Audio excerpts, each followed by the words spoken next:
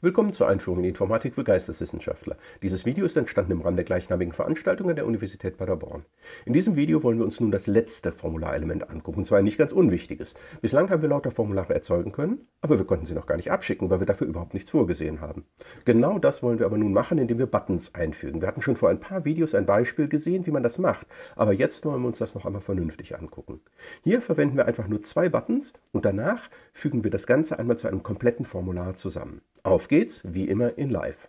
Wie üblich habe ich was vorbereitet, und zwar eine Datei, die heißt jetzt Schaltflächen. Und ich habe hier einfach mal so eine Text-Area, die wir ja schon kennengelernt haben, also so ein Textfeld hier eingefügt.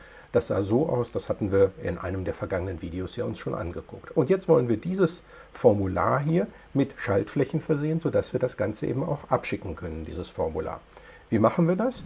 Nun, dafür verwendet man Schaltflächen oder eben auf Englisch auch Buttons. Und genau so heißen diese Elemente dann auch. Das heißt, wir können hier einfach hineinschreiben Button. Und ein Button bekommt auch immer einen Typ mitgegeben. Und hier sehen wir halt, es gibt drei Stück, die wir hier zur Auswahl haben. Einen normalen Button, da kümmern wir uns gleich drum. Reset, der sorgt dafür, dass alle Eingaben, die in ein Formular gemacht worden sind, zurückgesetzt werden können. Also alles, wo immer der Benutzer irgendwelche Häkchen gesetzt hat, Texte eingegeben hat, irgendetwas ausgewählt hat, würde einfach wieder entfernt werden, sodass das Formular wieder frisch und neu ist. Das wollen wir aber an dieser Stelle nicht machen. Wir wollen als allererstes einen Button haben zum Abschicken des Formulars, also Submit. Den können wir natürlich beschriften oder den sollten wir beschriften, den Button. Und hier möchte ich eine Bestellung absenden, wenn ich das Ganze gemacht habe. Und wenn wir das Ganze hier drüben uns jetzt angucken, dann sieht das also so aus, dass wir hier ein Formular haben, Bestellung absenden. Wenn wir hier drauf klicken auf den Button, das ist ja ein Submit-Button, dann wird für das Formular der OnSubmit-Event-Händler aufgerufen. Das heißt, diese Funktion speichere Daten wird aufgerufen. Die macht in unserem Fall nichts. Das lassen wir auch im Moment mal so. Die soll einfach gar nichts tun. Das ist auch okay. Und was dann anschließend passiert, ist natürlich, dass die Seite bestätigung.html aufgerufen wird, weil hier der Eventhändler ja True zurückgibt. Also soll die Standardaktion noch ausgeführt werden. Und wenn ich das jetzt also einfach absende, dann wundern wir uns, dass hier tatsächlich was steht. Das liegt daran, dass wir im Local Storage für einen vergangenen Test, den wir hier durchgeführt haben, noch alte Daten drin stehen haben. Diese alten Daten bleiben halt erhalten.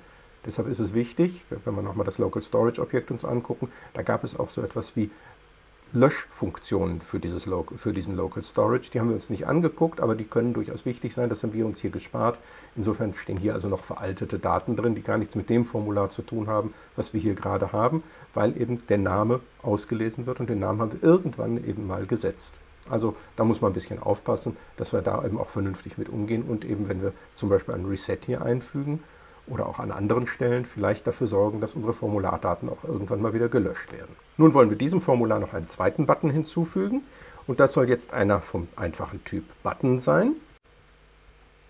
Und mit dem möchte ich nicht das vollständige Formular zurücksetzen, obwohl in diesem Fall läuft es darauf hinaus, weil unser Formular nur ein Element enthält, sondern ich möchte damit nur dafür sorgen, dass ein Text, der in dieses eine Feld hier oben eingegeben worden ist, entfernt werden kann.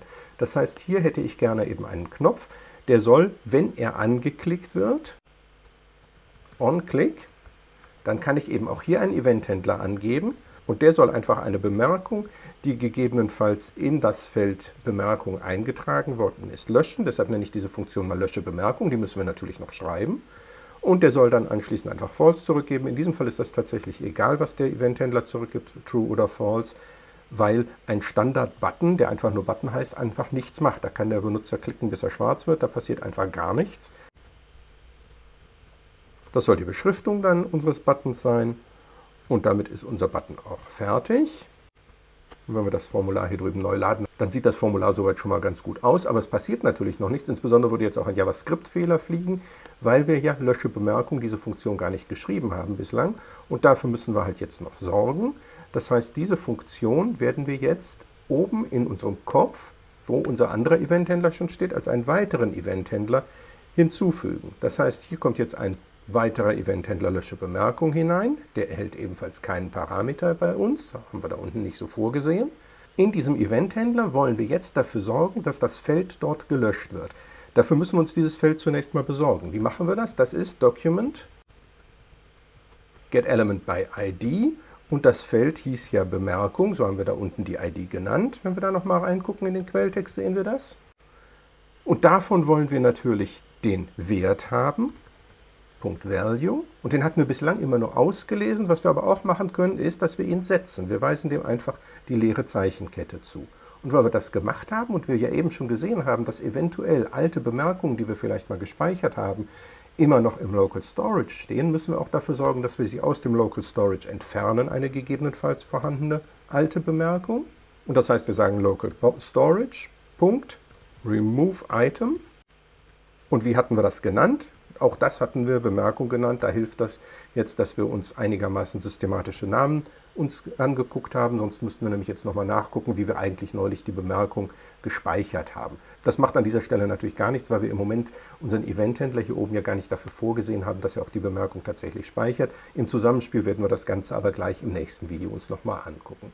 So, und wenn wir das jetzt hier machen, hier drüben also das Formular nochmal aufrufen, ist klar, wir können hier was eingeben und unsere Bestellung absenden, da ändert sich nichts dran, weil wir das Feld ja gar nicht auswerten in unserem Eventhändler Speichere Daten.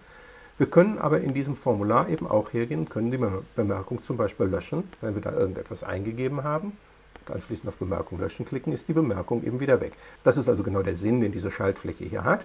Und damit das eben funktioniert, wie gesagt, müssen wir eben einen Button schreiben, den wir selber mit Funktion versehen. Und das machen wir eben dadurch, dass wir ihm einen On-Click-Event-Händler mitgeben.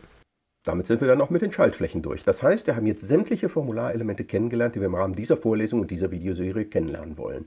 Im nächsten Video schauen wir uns an, wie das Ganze im Zusammenspiel funktioniert, also das Formular, das ich ganz am Anfang der Vorstellung der einzelnen Formularelemente gezeigt habe. Das werden wir nun vollständig aus den Versatzstücken, die wir in den vergangenen vier Videos gesehen haben, zusammenbauen. Tschüss, bis zum nächsten Video.